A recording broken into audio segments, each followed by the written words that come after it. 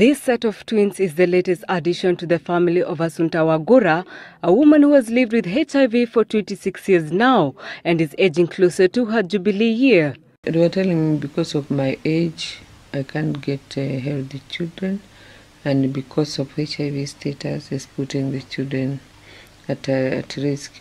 But I think it's misinformation. The people people assume that uh, if you're HIV positive, you must get children who are HIV positive. But I have worked in HIV for long, and I know with the right medication and the right uh, prophylaxis, you can get children who are free from HIV. And uh, through the program of prevention of mother to child, I thought uh, I'm I'm going to get HIV free babies. Doctors warn that HIV could be transmitted through body fluids, including blood and breast milk. But at the same time, they want mothers to breastfeed their babies exclusively for the first six months. Does Asunta breastfeed? Mm-mm, I'm not breastfeeding. For reasons, I wouldn't want to take any chances. Even if there's 1% chance of infecting them, I wouldn't risk that 1%. So I do whatever is possible on my part prevent any transmission from myself to the babies, including breastfeeding, which I can't do. So I'm feeding them on formula milk. Asunta's achievement is no mean feat. People living with HIV who had lost hope of ever having children of their own draw inspiration from her. If a woman is pregnant or if a woman gets pregnant, so long as she's doing her prenatal care and she's taking her, her antiretroviral regimen, the child is actually safe.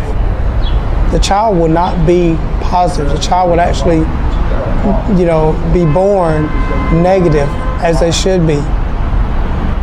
The baby was born to an HIV positive mother. The baby was on antiretroviral drugs for 15 months. And then at around that time, the mom just took her off of them. She stopped giving them and she stopped going back to the doctor. She was off the drugs for 8 to 10 months total. When they brought her back to the doctor around her second birthday, there was no signs of HIV. The doctors in Mississippi couldn't find it. They brought in other doctors who couldn't find it. Now, what does this mean for other babies with HIV? Here's what the folks at Johns Hopkins have to say. They've been involved in this. They say it may help pave the way to eliminating HIV infection in children. This has very important implications for pediatric HIV infection and, and the ability to achieve cure. So we think it, it should be able, we should be able to replicate this. In other words, maybe other babies can go on these drugs for a relatively short period of time and don't have to stay on them for life. Maybe they can just stay on them for a year, like this baby did. Now, this baby got high doses of three drugs right after birth, and they're saying that may be the way to go. I know that there are ways that if you tell your doctor early enough, if you're, you know, you find out you're pregnant early enough, um, I know that there's medication that the, the, the female can take to not infect her unborn child. Um, it's it's um, risky, but there are ways to not infect the child with HIV during the birthing process as well. I would imagine that if the, if the father is HIV positive and not on treatment, then there's a good likelihood that that baby will have HIV. But I don't know. I'm not a medical professional.